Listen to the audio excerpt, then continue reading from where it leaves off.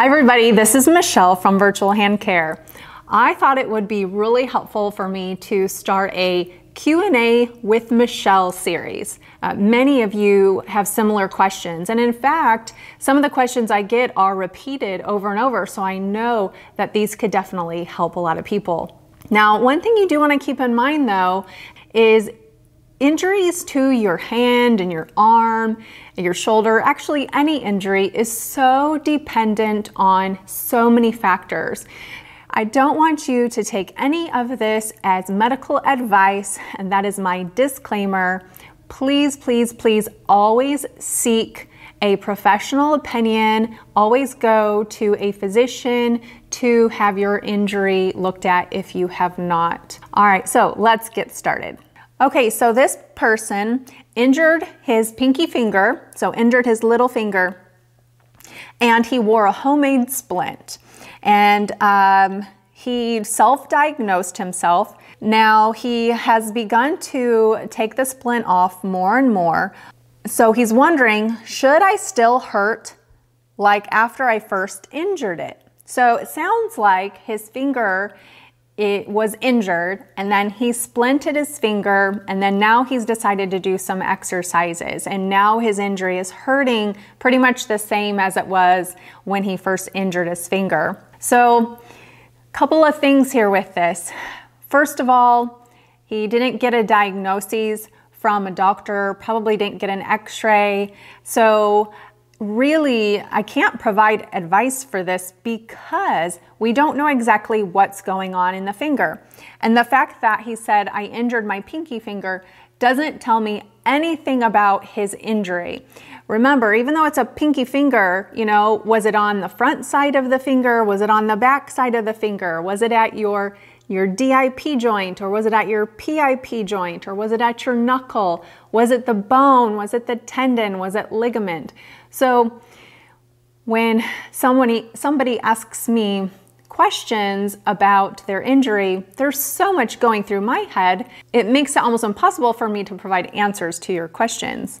Now the other thing too with this one is that you made your splint on your own. So I have no clue, first of all, you know, what kind of injury you had to the in, to begin with, but now you made your own splint. And uh, unfortunately, in a finger, there are certain diagnoses that you want to make your finger splint straight, but then there's certain that you shouldn't be splinting your finger straight and you should actually be splinting your finger in a little bit of a bent position.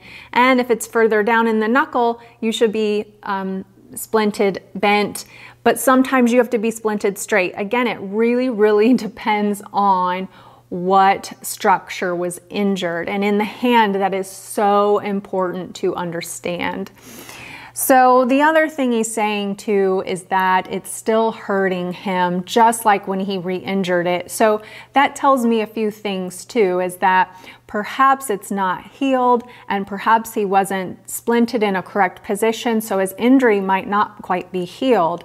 So I would really, really recommend to have a, um, a hand doctor, a doctor that specializes in the hand to look at his finger so that he can get an x-ray and hopefully it's not been uh, too much time to where it can still be uh, fixed and healed correctly. So I can't emphasize how important it is to go to a hand doctor, go to a doctor that has experience looking at the hand and so that they can really make sure that you are, are splinted correctly and you're properly diagnosed because that is what's going to help you get the best outcome. Now, if all that happened and you had the best uh, you know, you had a doctor look at it and you were splinted correctly and then uh, was told when to start exercises and you're still having pain with your exercises, there could be a few reasons why as well. One could be is that you were just splinted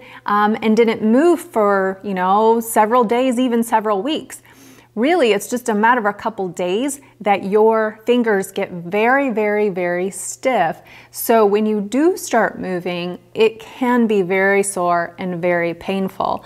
And that's why it's really important to start very gentle exercises in the beginning so you don't cause too much pain, which will then in turn potentially make you swell and make you more apprehensive to even do your exercises. Okay, so this one says that I had stitches removed in my finger. Now I'm struggling to move more normally and I can't bend my finger. What should I do? Well, this one is kind of similar to the other one. Well, it does say he had stitches removed in his small finger. Again, so small finger, kind of popular, getting injured. This doesn't tell me anything about his injury if you have stitches in your finger, there could be several reasons why you have stitches. You could just have a kind of a small cut when uh, and having nothing uh, deep in the tissue was affected. Uh, however, if you have a deeper cut and did you have surgery to where you had to have um, some other underlying structures uh, also stitched up, which could be why potentially you're having a hard time moving.